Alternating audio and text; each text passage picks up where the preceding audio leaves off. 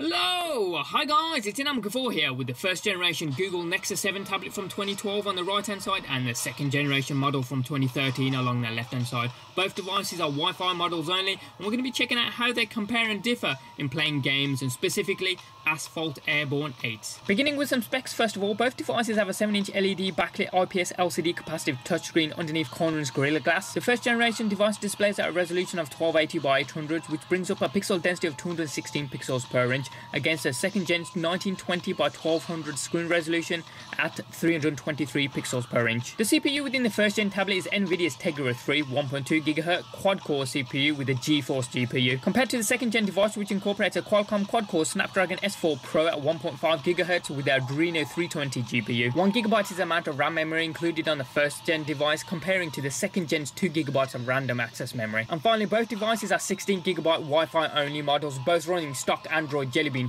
4.3. Hopefully while looking at both these devices side by side you can see that the Adreno 320 on the second gen Nexus 7 tablet is providing more vibrant colours than its predecessor, especially when you look at the green of the Audi R8 that we're racing here and also the yellow bar running across the middle top of the screen there. You can see it's slightly more vibrant on the Google Nexus 7 second generation tablet than it is on the first gen, but the first gen GeForce GPU tends to provide more crisper surroundings. If you look around the sides of the Audi R8, seems to be more crisper.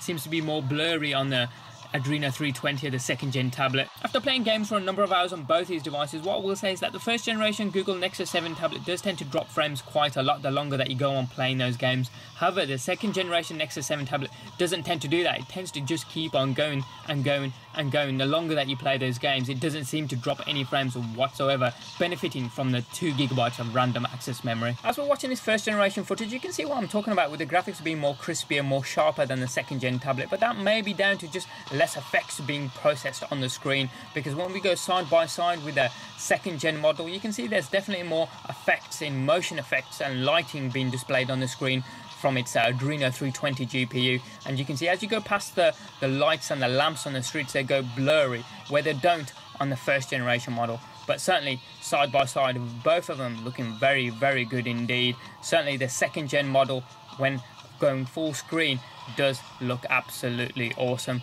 with the blurred motion effects going on as you go past light. It just seems a little bit more natural in terms of an arcade racer. I'll also mention the sound, although the first generation model does have great sounding speakers, they're not stereo speakers. And that's where the second generation model comes into a world of its own, encompassing you and giving the gaming a little bit of extra edge, just to immerse you more so into the gaming world. And this has been a look at gaming, in particular Asphalt 8 Airborne on the first generation Google Nexus 7 2012 model and the second gen 2013 model, just to give you an idea how both devices compare against each other when they're side by side in terms of specs and what you see on the screen. As ever, any comments or questions you guys have got, hit them up in the comment section down below there. Give us a thumbs up if you like this video and like what you saw. And if you haven't already done so, hit subscribe. It's also down there as well. Doesn't cost you a penny. And you can also check out some of our forthcoming videos. Thanks for watching. Have a wicked day. And we'll see you next time.